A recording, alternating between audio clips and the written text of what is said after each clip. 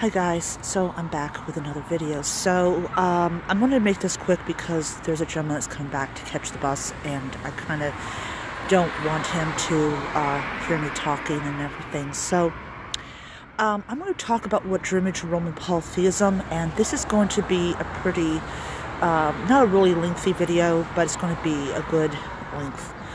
So I was interested in Roman polytheism about nine years ago, close to 10 years ago, when I was busy looking at all the different forms of Reconstructionism that was appearing um, around that time.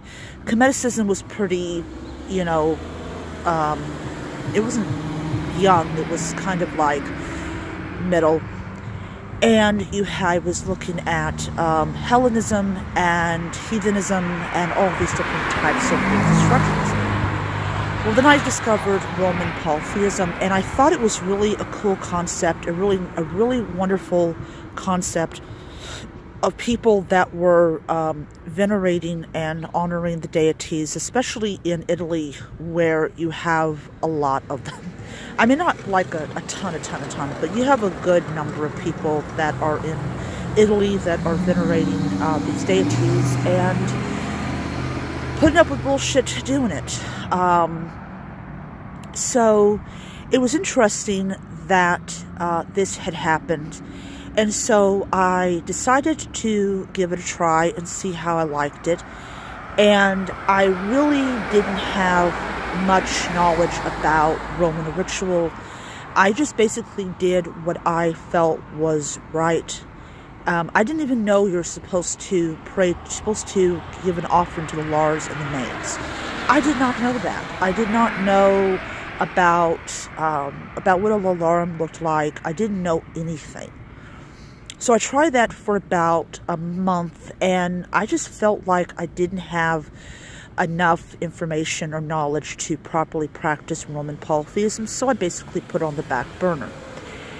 Nowadays, um, looking back at it and looking to it now, there is now a ton of photographs of Roman altars, both modern and ancient. Um, there's people that sell larariums. There are people that sell those little figurines. I mean, they're like, it's so different than it was like nearly 10 years ago. So that is a huge difference between uh, then and now. So, um, so I have come to this straight conclusion about ritual that if I set one up and I print it out and I use that as a foundation for my Roman practice, that I should pretty be, I should be okay, and then I can just like basically, you know, change a little bit this and a little bit of that um, for the holidays. So that's what I'm going to be doing tonight is writing up my daily Roman ritual and then of course um, you know like for the Ides and for the Nones write a little ritual for that and um, everything.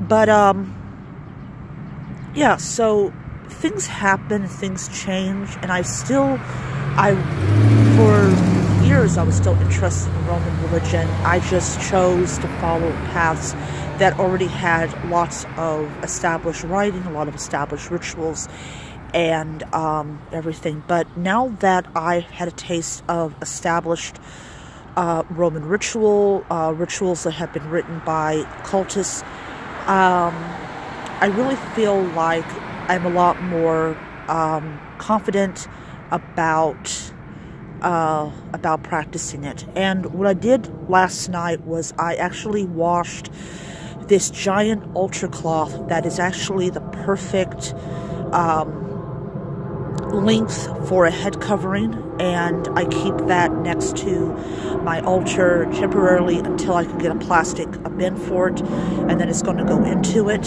um, so I will be definitely be doing that uh, probably the first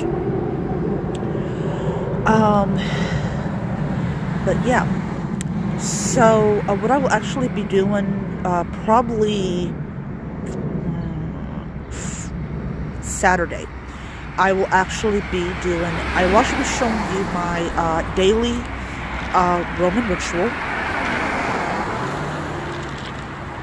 and definitely I'm going to post it. I'm going to try to I'm going to post it on uh, Roman reformist because I consider myself to be a Roman reformist instead of a Roman reconstructionist, and it'll be exciting to see what happens. And um, I was also thinking I, I was going to do a new channel that's solely for my Roman rituals, but I decided against it.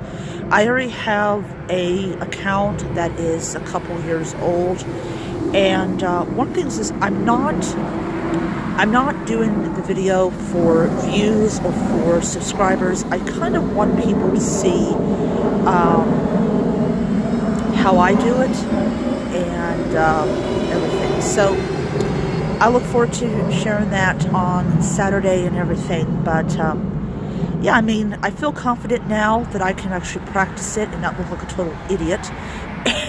and uh, all that stuff. So I think that's a big improvement. Uh, definitely a big improvement. But um, I really like Hellenism and I really like, you know, Egyptian paganism and stuff. And it's really great that I can still, you know, still like leave an offering to the Egyptian gods, leave an offering to the, you know, to the Norse gods and still be practicing um, Roman religion. Okay, so I'm going to see you guys around to next time. May Jupiter bless you. Bye.